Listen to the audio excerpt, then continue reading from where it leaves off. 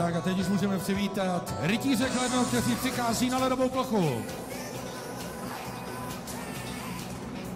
Toho pána, kterého vidíte na ledu, to je docent Roman Zachoval, předseda a zakladatel nadačního fondu. No a zase tady zahrozil Zubr z Přerova, konkrétně Tomáš Doležal, který otevírá skóre dnešního zápasu. Plně volný se zjevil před Miroslavem Kopřivou, měl zablokovanou hůl. A pozor zase tady Plášek mladší dává krásný gol do horního rušku a Kladno v rychlém sledu dostává druhý gol. Bránu volí přihrávku nahoru, kde je Kehar. Ten vystřelil a Martin Kehar snižuje, tak to je nádherný úvod tohoto utkání.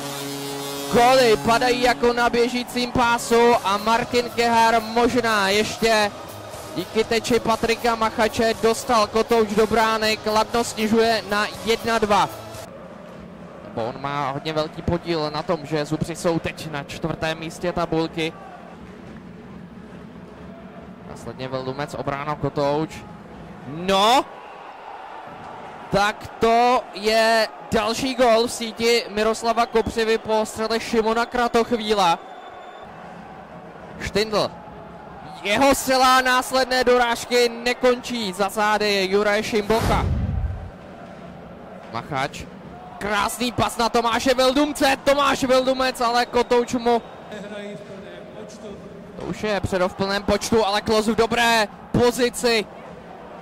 A Puk je v bráně. Teď hráči Přerova protestují, protože sudí pískl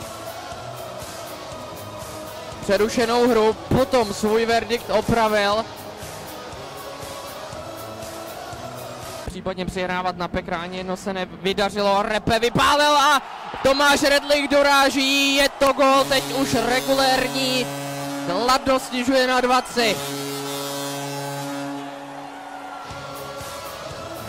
Hořava, Štych, jeho dobrá sila a puk vyrazil Šimboch pouze před sebe. Macháč. Klos byl úplně volný na kruzích. Pekr.